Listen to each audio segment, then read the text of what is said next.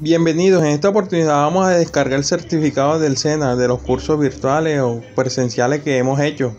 Primero que todo escribimos en la barra de búsqueda de Google certificado SENA y le damos clic a esta la primera opción. Ahora dentro de los resultados que nos arroja la búsqueda elegimos la primera opción donde dice inicio certificado digital SENA y le damos clic aquí.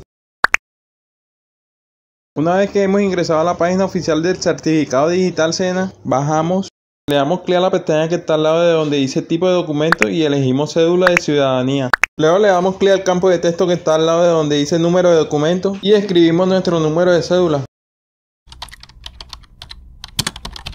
Y le damos clic en el botón naranja donde dice consultar. Y así es como se puede consultar y descargar todos los certificados que nosotros tenemos.